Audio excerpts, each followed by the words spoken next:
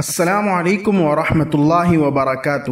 بسم اللہ الرحمن الرحیم۔ امید ہے آپ سبھی ساتھی خیریت سے ہوں گے۔ جیسا کہ ہم سبھی جانتے ہیں کہ بلند شہر یو پی میں اورنگ آباد اجتماع سے بھی بڑے پیمانے پر اجتماع ہونے جا رہا ہے۔ اس اجتماع کا تعلق مرکز نظام الدین یعنی مولانا سعد سے ہے۔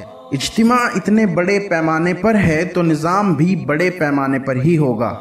لہٰذا اجتماع سے متعلق مرکز میں جو مشورے ہوئے ہیں اور جو نظام طے پایا ہے، وہ میں آپ کے سامنے ذکر کر دیتا ہوں تاکہ ساتھی اسی حساب سے جا کر خدمات انجام دے سکیں۔ شروع کرنے سے پہلے میں آپ سے عرض کروں گا کہ ذرا سی تکلیف آپ اپنی انگلیوں کو دیجیے اور اجتماع سے متعلق تمام اپڈیٹس کے لیے دا ہیومینٹی چینل ابھی سبسکرائب کر لیجیے۔ اور بیل آئیکن پر کلک کر کے نوٹیفیکیشن آن کرنا ہرگز نہ بھولیں۔ چلیے شروع کرتے ہیں۔ اجتماع کا نظام کچھ اس طرح ہے۔ زمین کی صفائی، ستھرائی اور سطح کو ہموار کرنے کی ذمہ داری اور اس کام میں ضرورت کی چیزوں کی ذمہ داری بلند شہر کے حصے میں آئی ہے۔ دو کروڑ اسکوائر فٹ میں ٹینٹ لگانے کی ذمہ داری حلقہ میرٹ کو دی گئی ہے۔ اڑھائی کروڑ اسکوائر فٹ میں بیٹھنے کے لیے فرش کی ذمہ داری حلقہ کانپور کے حصے میں آئی ہے۔ تین کروڑ اسکوائر فٹ کے ایریے میں پوال کی ذمہ داری حلقہ نمبر چھ اور سات بلند شہر کو دی گئی ہے۔ وضو خانے کی ذمہ داری لکھنؤ والوں کو دی گئی ہے۔ استنجا خانے اور غسل خانے کی ذمہ داری حلقہ اعظم گڑھ کو دی گئی ہے۔ بڑے استنجا خانے یعنی ٹوائلٹ کی ذمہ داری حلقہ الہ آباد کو دی گئی ہے۔ جنریٹر اور لائٹ وغیرہ کی ذمہ داری حلقہ آگرہ کے حصے میں آئی ہے۔ مائک سسٹم، لاؤڈ اسپیکرز وغیرہ کی ذمہ داری گورکھپور کو دی گئی ہے۔ تشکیل و ترتیب کے لیے ہر حلقے سے پانچ پانچ افراد کو لیا گیا ہے۔ دس دس ساتھی حلقہ میرٹھ کے پورے ضلع سے لیے گئے ہیں۔ مولانا شریف، مولانا شوکت، بھائی ہارون، حافظ منظور صاحب، مفتی اسلم، مفتی مرسلین وغیرہ۔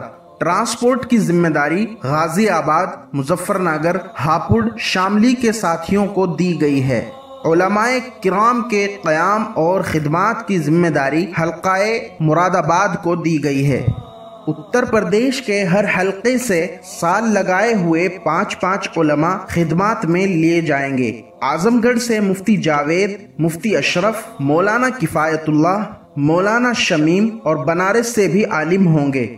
علماء کو اجتماع گاہ تک فری سروس دی جائے گی۔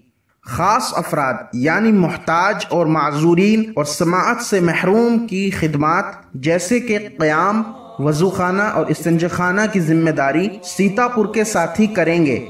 فوراً یعنی دوسرے ممالک سے آنے والوں کی خدمات، مثلا قیام اور ٹرانسپورٹ کی ذمہ داری بھی بلند شہر والوں کو ہی دی گئی ہے۔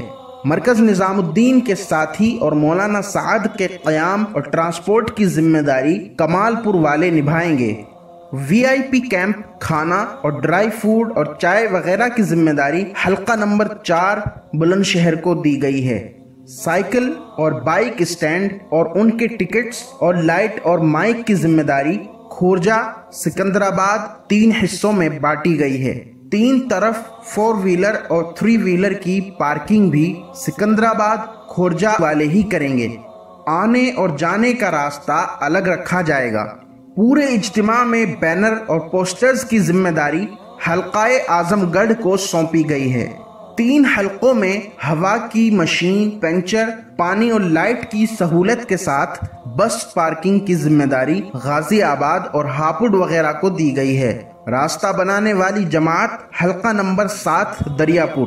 دعا کے بعد تک پورے اجتماع گاہ کی صفائی تیہا بھائی پورا بلند شہر کے حلقے میں آئی ہے۔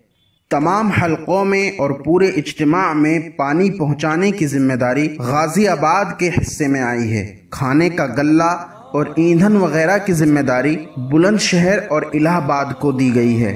مائک کے ساتھ انکوائری آفس کی ذمہ داری، ہاترس اور مارکیٹ کی جماعت کی ذمہ داری بلند شہر، عارضی مسجدوں کی ذمہ داری بلند شہر حلقہ نمبر آٹھ۔ اسی طرح ٹریفک کی ذمہ داری بہریچ اور بستی کے ساتھیوں کو دی گئی ہے۔ چاروں سمتوں میں میڈیکل کیمپس، ڈاکٹرز اور ایمبولنس کی ذمہ داری سہارنپور اور بلند شہر کے ساتھیوں کو دی گئی ہے۔ اجتماع گاہ کی نگرانی بھی انشاءاللہ بلند شہر والے ہی کریں گے۔ یہ تمام امور وہ ہیں جو مشورے سے طے ہوئے ہیں اور مجھ تک پہنچے ہیں۔ ان میں تبدیلی بھی ہو سکتی ہے۔ اجتماع تو اجتماع ہے۔ تمام اختلافات سے اوپر اٹھ کر سبھی ساتھی خدمات کے لیے اجتماع گاہ پہنچیں اور اللہ سے دعا کریں، استغفار کریں کہ اللہ ہم سب کو راہ راست پر چلنے کی توفیق عطا فرمائے۔ سب سے پہلے اس ویڈیو کو لائک کریں اور کمنٹس میں مجھے بتائیں کہ اتنا بڑا نظام دیکھ کر آپ کے من میں کیا خیال آ رہا ہے۔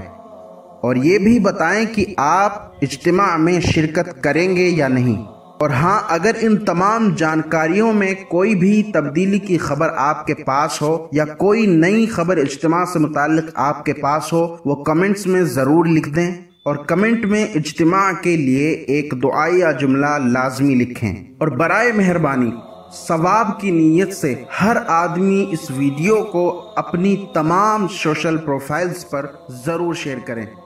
جزاک اللہ خیر۔ دینی و علمی و اصلاحی بیانات، نظم و نعت و حمد وغیرہ کے لیے ہمارا چینل دا ہیومینٹی ضرور سبسکرائب کریں اور ہماری اپڈیٹس سب سے پہلے پانے کے لیے بیل آئیکن پر ضرور کلک کریں۔